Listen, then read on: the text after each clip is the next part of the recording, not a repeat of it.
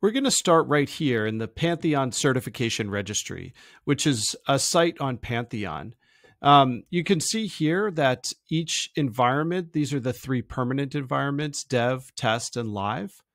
Uh, each one of these environments also has their own dedicated uh, platform URL. So if I click visit live site, for example, you see it's going to bring me to the uh, Pantheon platform URL. Same thing with the test environment here. I'll click the uh, visit test site and you can see um, only this part of the URL is different. And actually, what we're looking at right now is uh, actually the live site. So um, in the live environment, you can set up a custom domain, which I've done here. So if I do Pantheon certification.pantheon.io, you can see that it's the same one. I'm just logged in here. All right. Uh, the reason why these look different is because the database is different for each environment. So when you move from one environment to another, um, the code is on the same Git repository. Um, and uh, the dev environment has your master branch, and the test and live are also going to have the master branch because these are immutable but the database and files are independent for each environment. So, as we talked about before, you have to be careful because when you clone database and files from one environment to another, it actually is going to overwrite in that environment for just the database and files. This also means that you have uh, you can have potentially different looking sites even if they're using the same code base. Um, from the test environment to the live environment, for example. And then the dev environment is the same thing. So clicking this visit development site is going to bring up the dedicated URL. As we talk about multi devs, this is important because each multi dev, uh, just like the permanent environments, also has its own dedicated URL for sharing the progress of your site. And this is really critical in shortening that feedback loop between the developers who are working in the code and the business stakeholders who need to see the progress that the developers are making. So, uh, just an example here, you can see that this um, table doesn't really look uh, as polished as maybe the business owners would want. But when we look in the live site, you can see that the table has been um, tweaked and it looks a lot nicer. So this is the type of back and forth that WebOps can facilitate and help shorten that feedback loop and make sure that the sites are progressing as marketing and the business owners want, uh, even as the development team is doing that work under the hood. And that brings us to multi-dev environments. So, a um, couple things to point out about multi-dev environments. First of all, multi-dev uh, is um, being created off of Git branches. Um, so you can see these are actually the names of feature branches. The dev environment is where your main branch or your master branch lives. Um, so whenever you make changes to the multi-dev environment, you can actually merge them in. Um, you can see we're in SFTP mode here. So I'm just going to quickly uh, toggle back to Git mode. And now we're back in Git mode. So now that we're in Git mode, um, we can actually, if we want to, we can merge changes from these feature branches into the main branch by clicking this button, Merge Code. So I'm just going to actually do that right now.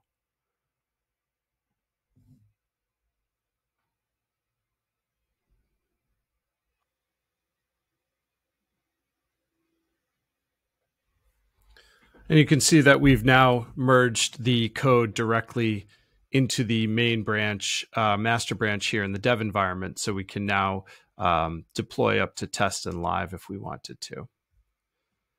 So that's how you would get your code from the feature branch in the multi-dev to the uh, master branch. So let's talk a little bit about the three ways that we can create multi-dev environments.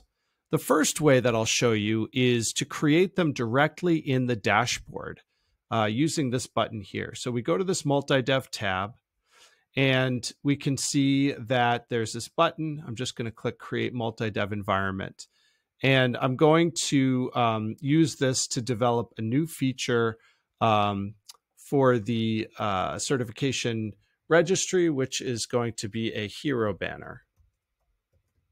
So I'm going to call the new feature branch hero banner to reflect that change that I'm going to make. And it's going to ask me which environment I'd like to clone my database and files from. You can see that you have a selection between dev, test, and live. And I'm going to clone the database and files from the live environment because that is where the latest updates have been made to the site by the content creators. So I'll click create environment. And that's going to go to work cloning the database and files from the live environment and creating that new feature branch called hero banner as part of that new multi-dev environment.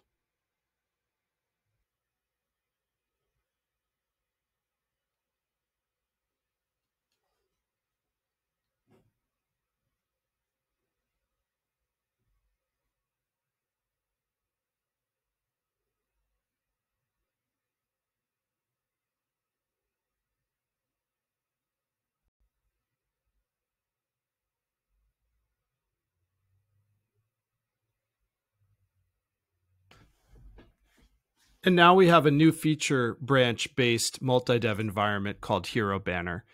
And I'm just going to click into that new environment right here by clicking on this link. And you can see that this environment looks very similar to the other ones in terms of the dashboard.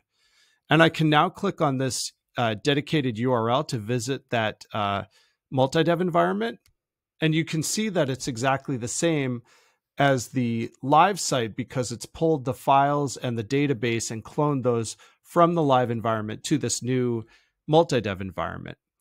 However, any changes that I make on the code base here are going to be in this hero banner feature branch right here. And I can access this feature branch hero banner site by going to my local terminal and I can just go to the Git repository my local for this site. And right now we're on master branch. But if I do a git pull, and then I do a git checkout hero banner, you can now see that I am on this hero banner branch and I can start doing development on my local site and then push changes directly to this multi dev by committing code changes to this hero banner feature branch and pushing that up. And then from there, I would be able to merge my changes from my dev uh, into my dev environment into the master branch. So that's the first way that we can create multi devs on Pantheon. The second way is to take an existing feature branch and create a multi-dev environment that way. And this would look like this. So if I click on this tab right here, you can see all of the feature branches that are currently existing without multi-dev environments associated to them. So I can click create environment from an existing feature branch here. But let's say that I have an existing feature branch that I've been doing work on. So I'll create a new feature branch on my local.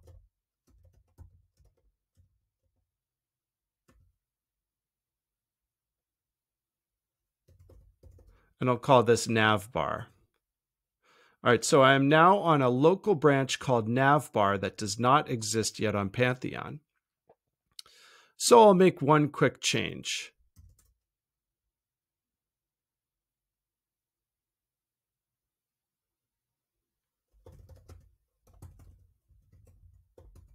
And I'll just add a text file in here.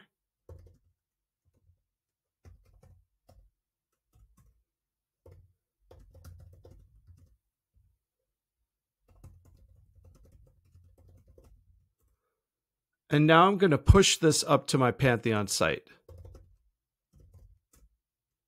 All right, so it's it's telling me that the existing branch doesn't yet exist on my Pantheon site, even though it does on my local. So I'm going to follow these instructions here.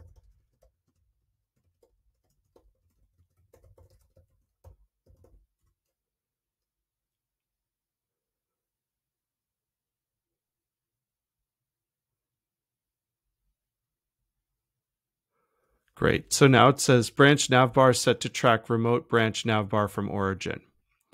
All right. And you can see that I didn't even need to refresh my browser. That new feature branch is now live on my Pantheon site. So I can now just take that existing feature branch and create an environment from there. And again, it's going to prompt me to clone my database and files from one of my existing environments. In this case, I'll just select the test environment. And uh, that way, it will look a little bit different. And so you can see kind of the differences uh, between the multi-dev that was cloned from the database and files of the live environment versus the multi-dev that was cloned from the test environment. So going back here to the multi-dev environments tab, you can see that it's now spinning up a new multi-dev environment.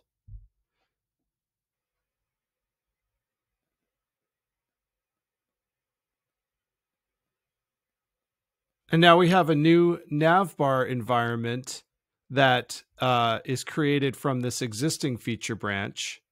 And if we go to the uh, Git branches here, you can see that that uh, feature branch is no longer available here because there's already a multi-dev environment that's taking that up. So I'll click that navbar, and now you can see all of the uh, changes, including the one that I just committed here. So that's the second way that we can create multi-dev environments with an existing feature branch. And the last way is using Pantheon's Terminus command line interface tool. And we can find all of the uh, commands that Terminus can do over here. And if I start typing multi-dev, you can see that it'll bring up all of the different Terminus commands that we can use for multi-devs, including creating multi-dev, deleting them, multi-dev list, merge from dev, merge to dev. So I'm going to open up my uh, command line here. And I'm going to start by uh, logging into Terminus. So I'll do Terminus auth login. And that's going to match the machine token that I have uh, uploaded to Pantheon and the uh, account that I'm logged into, which is my email account. So now that I'm logged into Terminus, I can uh, create multi-dev or uh, spin down multi-dev. So the first thing I'm actually going to do is going to delete that multi-dev environment that I just created. You can see the instructions on how to on how to do that here. So I'll do Terminus multi-dev delete dash dash delete dash branch and then the uh, site and the environment. So I'm going to do terminus multi-dev delete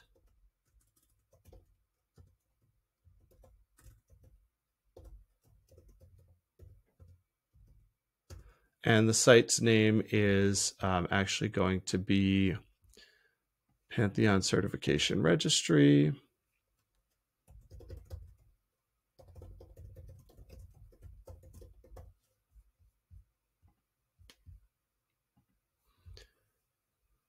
And then dot environment. And the, the environment is going to be navbar. So you can see that there's a predictable naming convention here uh, with the site name being the human readable name with dashes in between the words and uh, all lowercase. And then the name of the environment is just going to be the name of that feature branch that I just created. So I'm going to delete that.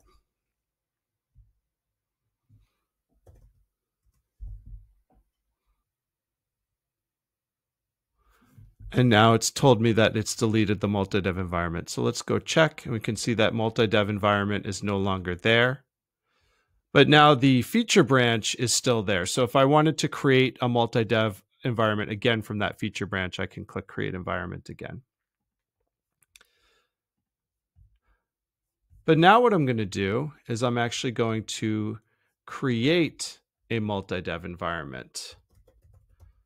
So I'm going to just look up the syntax here on our terminus commands. You can see that we're just going to do terminus create.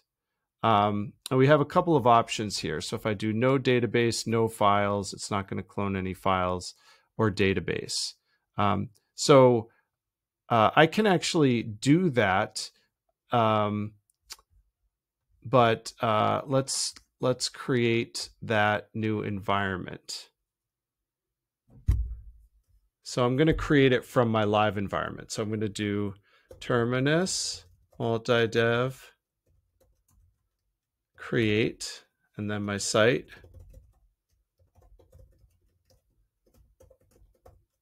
and the environment that I'm going to clone. So I'll just clone the live environment.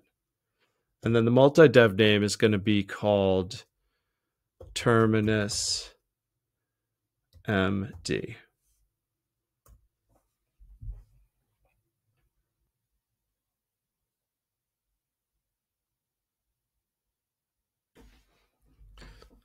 And we've created a new multi-dev environment with Terminus.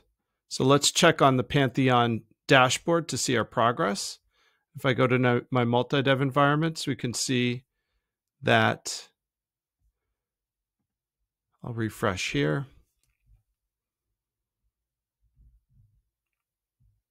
And we can see that the new environment now is ready to go. And if I click on the URL here, we can see that it has successfully cloned the live database and files. So in summary, you can see that there are three ways that we've created a multi-dev environment. The first is to create a new one with this button right here, which will dynamically create a feature branch that we will name. Second one is to take an existing feature branch and create an environment using this button. And the third one is to use Terminus to create multi-dev environments. this last method is noteworthy because this means that you can actually run these terminus commands as part of a multi-step script at the end of a process that might include a CI/CD workflow or something similar.